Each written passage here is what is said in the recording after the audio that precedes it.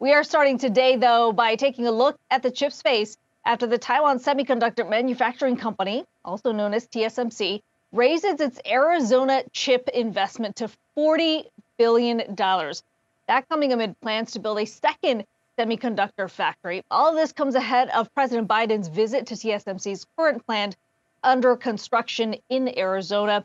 And we should point out, Rachelle, this isn't just any visit by the president. You're going to have Tim Cook from Apple, Jensen Huang from NVIDIA, executives from AMD, all the major chip makers who reportedly really pushed TSMC to consider the second option here.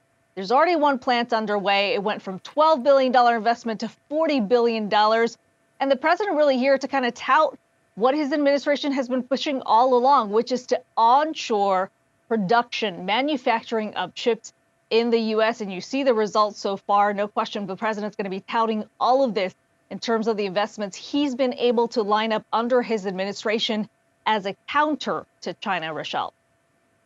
And it's interesting because we saw commentary from Ronnie Chatterji, the National Economic Council member who's actually overseeing the CHIPS Act. And he actually said that at scale, these two factories could meet the entire US demand for US chips when they're completed. That's the definition of supply chain resilience. We won't have to rely on anyone else to make the chips we need. But keep in mind that the raw materials that actually go into the chips predominantly are mined in Russia, China, and the Democratic Republic of Congo. Obviously, there's a competitive relationship with China current sanctions on Russia and the Democratic Republic of Congo experiencing some active conflict there at the moment. So, in terms of supply chain resilience, I think that does come with a caveat for sure, but we'll be keeping an eye on that.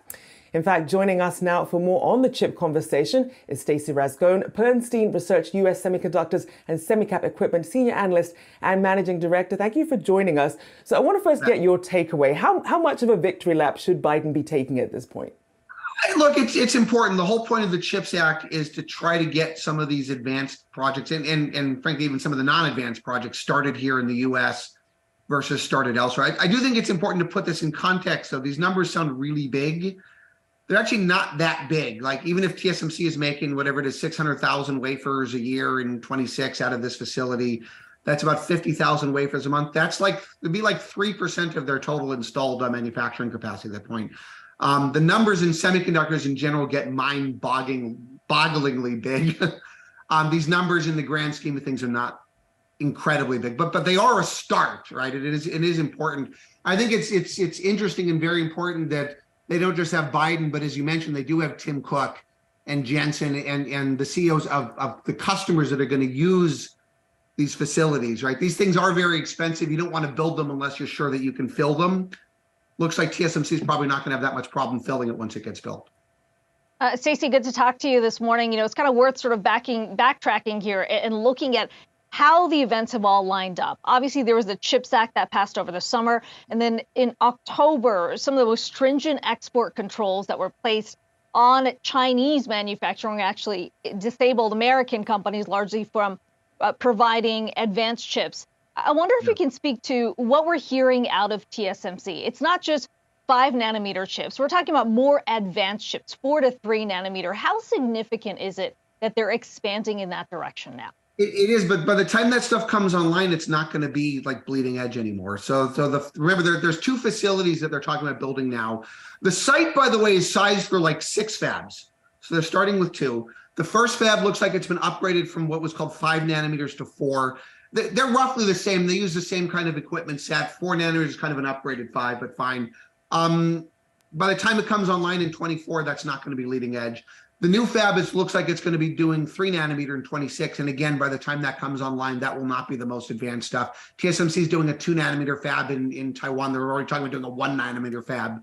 Um, so they will not be the bleeding edge of what TSMC is doing. They're going to keep that. It sounds like in in Taiwan, um, but it doesn't mean it's not important, right? Even even the the stuff that's not on on the the true bleeding edge of process technology is still needed.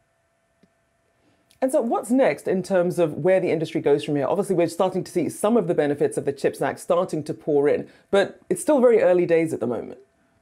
That, that that's right. And, and again, so remember, the, the CHIPS Act is going to take a while. Uh, there's there's a couple of different pieces of it. You have the direct manufacturing subsidies. I think it was 52 billion dollars in total, which included 39 billion for directly for manufacturing.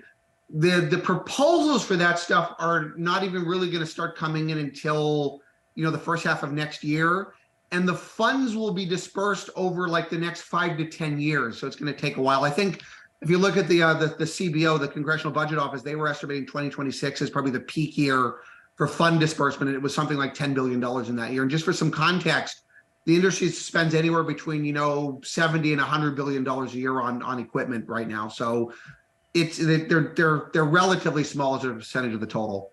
Um, there's also tax credits that happen. The, the tax credits can happen quicker. It's a 25% tax credit on qualified U.S. Uh, manufacturing investments in semiconductors. I think the CBO had estimated that at about 24 billion dollars over the lifetime of the pro- of that program, which was five years. So these are the kind of numbers that we're talking about. But just for some context, TSMC spends close to 40 billion dollars a year just for themselves the industry as a whole, the global industry, I mean, we did in 20 this year in 2022, we'll probably do 95 billion dollars in equipment spending and probably 140, 150 billion in, billion in total capex for semiconductor industry. So that just gives you some idea of the kind of numbers we're talking about here. Uh, Stacy, really quickly, you said in terms of volume, this isn't significant, but uh, this is really a, a critical piece of at least this administration's pushback against China. And I want, to, I want to point to comments that we got from Commerce Secretary Gina Raimondo last week, uh, who has really been leading this push, who said semiconductors are ground zero in this technological competition and central to our new investment strategy. Obviously, she goes on to talk about how the U.S. has lost the lead in terms of global production. Um, what does this do? The announcement today, TSMC being a Taiwanese company announcing this in Arizona, what does that mean for the larger US China competition? Well, so I still don't believe that the US has given up on semiconductors, although I think uh, the secretary is right. In terms of manufacturing, we've let manufacturing go offshore.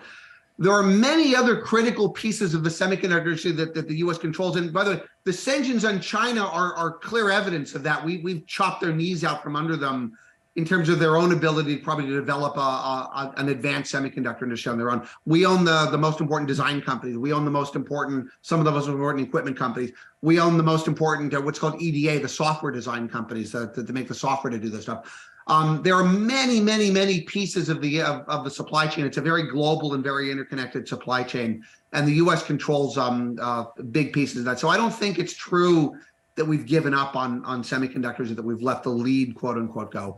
Manufacturing, yes, and and and I think it is important to bring that back on shore to try to bring some of it on shore to de-risk. But you'll never be able, for example, to fully reshore what's in Taiwan. It'll take trillions of dollars in 20 years, um, if if that, if, if it's possible at all. And there's always going to be pieces of the supply chain that are critical that we that we can't control.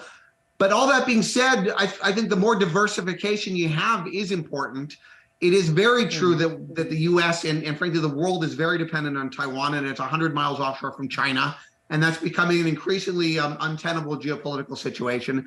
And so, any kind of like strategic diversification we can do for that supply chain, I think, is important. And this is a start. That's all it is. It's only a start, but you have to start somewhere. Um, and this is a good start, I think, uh, um, along those lines. Fair point. A strong start indeed. A big thank you to Bernstein, Stacy Rasgon. Thank you so much for joining us this morning.